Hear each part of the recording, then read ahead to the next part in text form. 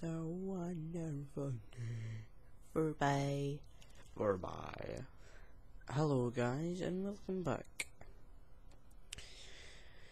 Um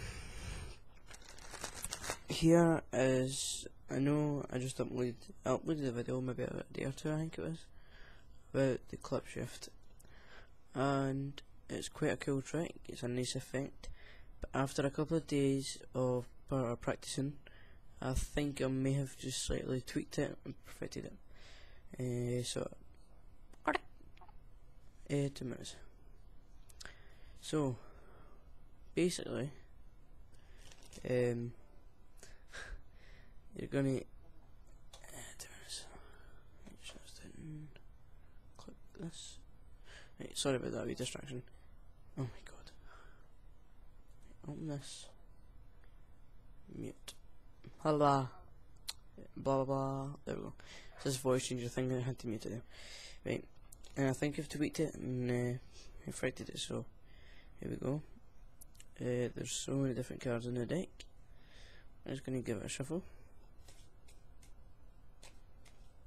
Just a couple of them. not very much. No, um, yeah, let's give it another couple. Shuffles, because there's a bench and then there's the clips in it there, it might be hard. Right. I. I'm going to teach you do this for this as well. Right. So, um. This first one's going to fail, right? And yet one was going to fail there because I didn't have the right grip on it. Yeah, right. So, for the hearts, shake it. Oh, sorry, I wasn't in camera there. I didn't get it. Right. Just going to shake the deck like this and it becomes the jack of spades. Right, take again. Ready? One, two, three. Forty diamonds now. One last time. Oh, and shake it. You've got spades anyway. One last time.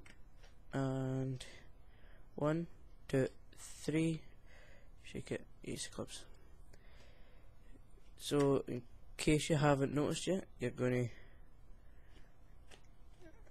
take the bottom card in a way that you can transfer it to the top. Magically like that.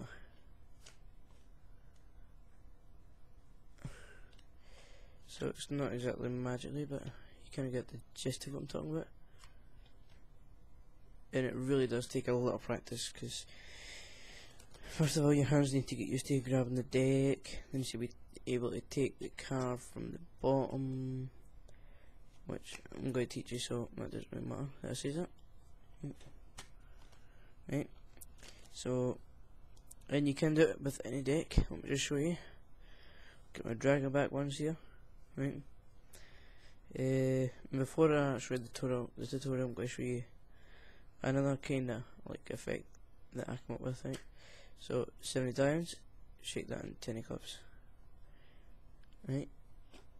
Um, 10 clubs, shake that 70 spades. I'll do it right in oh sugar. You might have seen that there? That's my fault. Go do it right in front of your face this time, ready?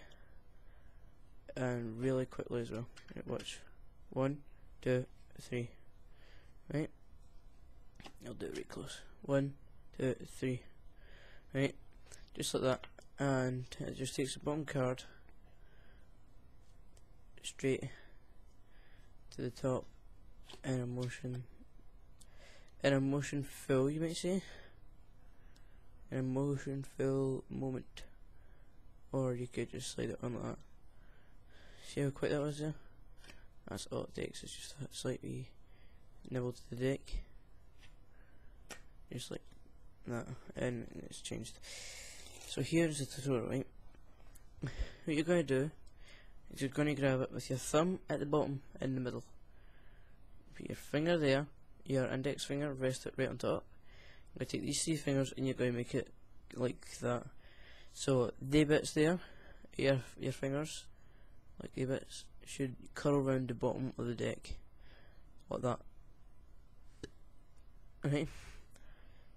And so in that part, you're gonna push this, like grab it right at the corner, push it once until you're about a third at the side, right? You're to clip it and pull it right over the top while pushing the deck downwards with your index finger like that, just a slight bit. And then at this part, you're going to pull your pinky outwards and then pull it in kind of like that. And at that point, you're going to clip it. This is probably why they call it clip shift. Clip it with this finger and pull it right in.